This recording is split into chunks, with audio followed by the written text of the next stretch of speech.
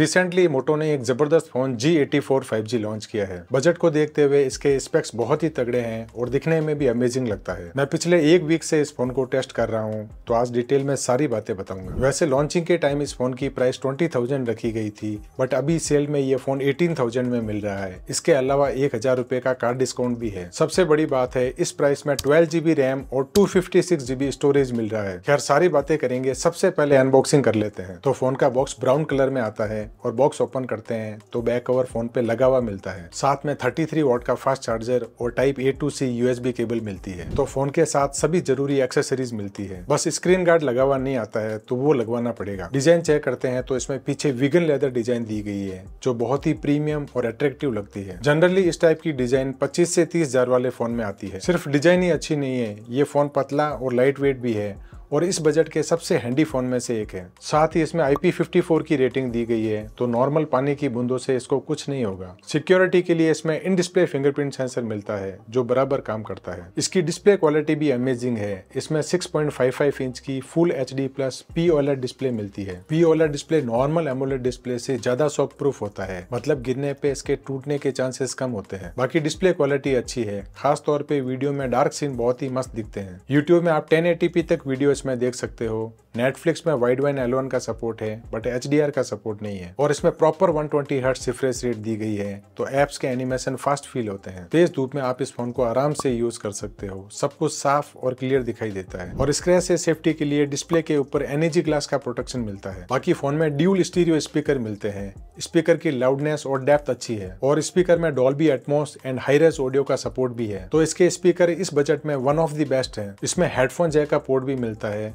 और यहाँ तक कि आप इसमें टाइप सी ईयरफोन भी यूज़ कर सकते हो। और टाइप सी ईयरफोन के लिए बार बार सेटिंग में जाके ओटीजी इनेबल करने की ज़रूरत नहीं है। डायरेक्ट ईयरफोन लगाओ और मस्त म्यूज़िक सुनो। बाकी इसमें ब्लूटूथ ईयरफोन की कनेक्टिविटी भी अच्छी है। सॉफ्टवेयर में एंड्रॉइड थर्टीन मिलता है और मोटो की माई यू एक्स मिलती है। माई यू मेरे सबसे फेवरेट सॉफ्टवेयर में से एक है। बिकॉज़ ये यूज़ करने में स्मूथ है और सबसे अच्छी बात है, इसमें ब्लोटेयर ऐप नहीं मिलती है और पुश नोटिफिकेशन भी नहीं आते हैं। और अपडेट की बात करें तो इसमें एंड्रॉइड 14 तक अपडेट मिलेगा और तीन साल तक सिक्योरिटी अपडेट मिलेंगे। हाँ अगर मोटो इसके लिए एंड्रॉइड 15 तक अपडेट प्रॉमिस कर देता तो मज़ा आ जाता। बाकी सॉफ्टवेयर में गेस्टर वाले तगड़े फीचर हैं, जैसे फ़ोन को शेयर करते हैं तो फ्लैश लाइट ऑन हो जाती है। ट्विस्ट करके फ्रंट और बैक कैमरा में स्विच कर सकते हैं। इसके साथ ही इसमें सिक्योर फोल्डर भी मिलता है, जिसमें सारी ऐप की ड्यूल ऐप बना के रख सकते हैं, और पर्सनल फ़ोटो और एप्स को लॉक लगा के रख सकते हैं। बाकी इसमें आप कॉल रिकॉर्डिंग कर सकते हो बट आगे वाले को अनाउंसमेंट जाएगा कि कॉल रिकॉर्डिंग हो रही है। तो इस बात का आप ध्यान रखना। परफॉर्मेंस की बात करें तो इसमें स्नैपड्रैगन 695 प्रोसेसर मिलता है, और रैम टाइप एल LPDDR4X और स्टोरेज UFS 2.2 मिलता है। Antutu बेंचमार्क में फ़ोन का स्कोर 4.3 लैक आता है, जो कि बजट वाइज अच्छा स्कोर है। अब आप पूछोगे, रियल लाइफ परफॉर्मेंस कैसी है? तो इस फ़ोन का प्रोसेसर तो ठीक ठाक है, लेकिन इसमें ट्वेल्व जीबी रैम है, इसलिए ज़्यादातर ऐप बैकग्राउंड में ही रहती है। तो ऐप फास्ट ओपन होती है और रेगुलर यूज़ में ये फ़ोन बिल्कुल नहीं अटकता है। इसके अलावा इस फ़ोन के साथ आप ठीक ठाक गेमिंग कर सकते हो। ये प्रोसेसर बीजीएमआई में 40 एपीएस तक गेमिंग सपोर्ट करता है। और गेम प्ले बताऊँ तो प्राइस के हिसाब से डिसेंट है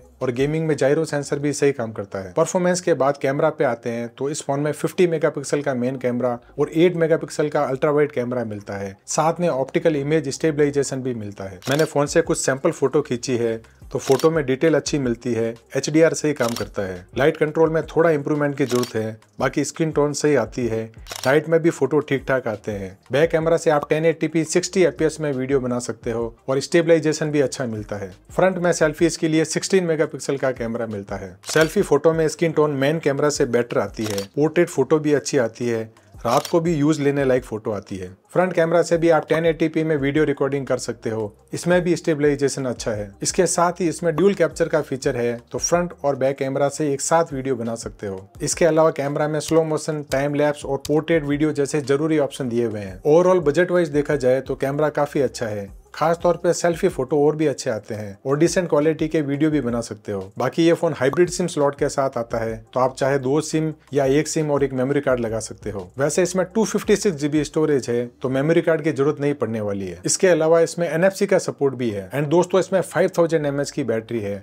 एंड बैटरी बैकअप सरप्राइजिंगली बहुत ही अच्छा है। और डब्बे में 33 वॉट का फास्ट चार्जर मिलता है, जो इस फ़ोन को 80 मिनट में फुल चार्ज कर देता है। कनेक्टिविटी के लिए फ़ोन में 14 5G बैंड का सपोर्ट है। मैंने जियो सिम के साथ फ़ोन को अलग अलग लोकेशन पे यूज़ किया तो नेटवर्क और 5G स्पीड अच्छी मिल रही थी। इसके अलावा फ़ोन में वीओ कॉल का सपोर्ट है। मतलब आप कॉल पे बात करते हुए भी 5G इंटरनेट चला सकते हो। वरना इस बजट में कई 5G फ़ोन ऐसे हैं, जिनमें सिर्फ़ वोल्टी कॉलिंग ही मिलती है। तो उन फ़ोन में कॉल पे बात करते टाइम सिर्फ़ 4G इंटरनेट चलता है। इसलिए इस फ़ोन को मैं प्रॉपर 5G फ़ोन बोल सकता हूँ, क्योंकि इसमें वीओ कॉल का सपोर्ट है। लेकिन एक बात का ध्यान रखना, अभी वीओ कॉलिंग सिर्फ़ जियो सिम में मिल रही है। अब ओवरऑल जी के बारे में बोलूँ तो इसमें डिस्प्ले क्वालिटी बहुत ही बेहतरीन है परफॉर्मेंस भी बजट वाइज अच्छी है, और एक यूज़र के लिए सॉफ्टवेयर एक्सपीरियंस बहुत मायने रखता है। वो इसमें स्मूथ और क्लीन मिलता है। सबसे बड़ी बात है, इसमें ट्वेल्व जीबी रैम है तो मल्टीटास्किंग आराम से हैंडल कर लेता है। फाइनली ये बोल सकता हूँ, अभी अठारह हज़ार रूपए में जो बेस्ट फ़ोन आ रहे हैं, ये उनमें से एक है। और आपको इसी बजट में फ़ोन लेना है तो इसको एक बार चेक ज़रूर करना। तो ये था मेरा इस फ़ोन के साथ एक्सपीरियंस बाकी आप चैनल पे नए हो तो सब्सक्राइब ज़रूर करना ताकि फ्यूचर में ऐसे वीडियो मिलते रहे। वापस मिलते हैं अगले वीडियो में। Take care bye bye